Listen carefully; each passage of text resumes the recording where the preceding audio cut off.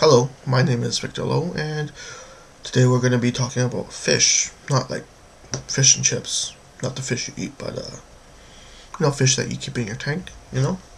So, a good book to start first if you're wanting to keep fish is this book, The Encyclopedia of Aquarium and Pond Fish.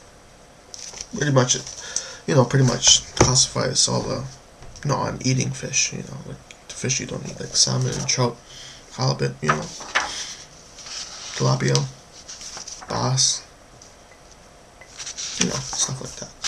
So, you know, you want to look at the first, you know, pages of it, you know, you know, like, uh, there's different kinds of water, fresh water, salt water.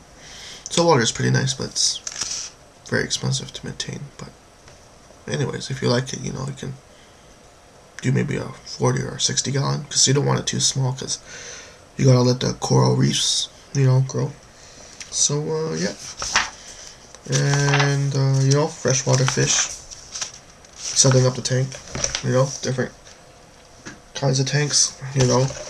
Small rectangular small corner small hexagon. Double tank with connecting tunnels rounded glass tank and a large cabinet tank. So you know usually, uh, you know, if you have a large tank, you can put stuff in, you know, maybe, uh, like in a 60 gallon, maybe two gallons of it is, uh, you know, decorations. Pretty much it, you know. You know, we'll just go through the basics, you know, you want to get a tank, you want to get some, uh, filter. Usually you do, uh, uh, you know, one of those sponge, sponge, uh, filters and an ammonium filter. And then there's this uh, bile thingamajig that you pour into it. I'll show you in a later video. And, uh, you know, there's a... Uh, what else is there? You know, you need a, a filter.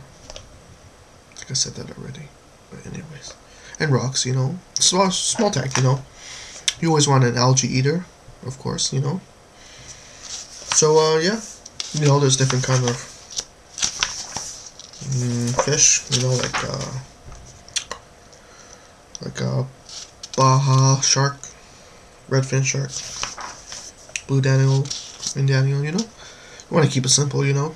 Usually if you have a small tank, you just want rocks and you don't want anything else in there. If you have everything in there, algae is uh, hard to control, so you don't want that. And, uh, you know, fish is nice, you know, like, uh, you don't want to put too much stuff into the tank. And, uh, you know, there's uh, tropical fish, you know. You know, usually, tropical fish, I usually don't worry about the heat because uh, in the house it's uh, pretty warm, it's 21 degrees. So, usually the water, uh, you know, slowly, you know, close to uh, house temperature, room temperature, you know. I think it's 21 degrees, 0.5. But anyways.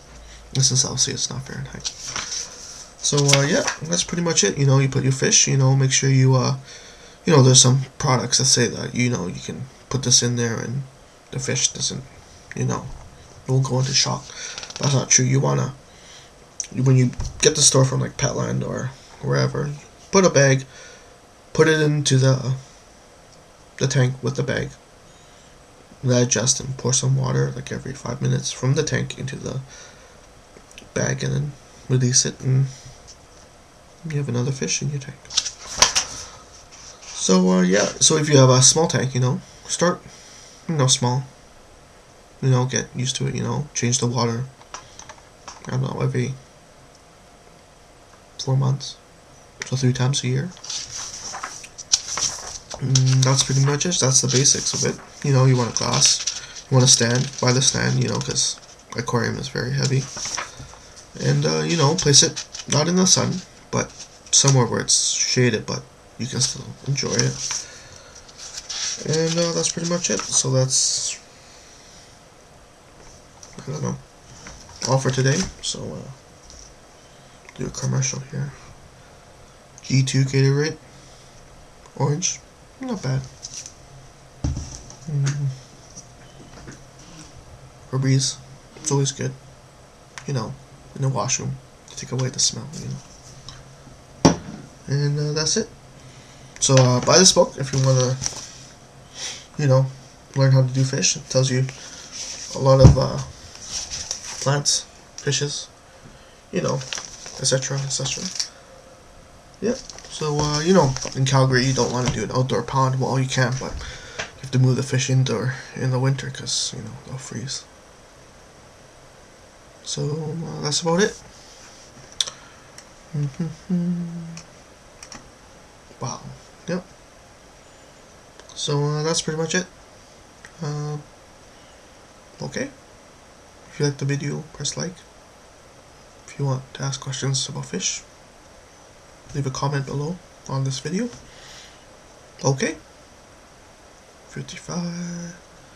Okay. See you later, guys.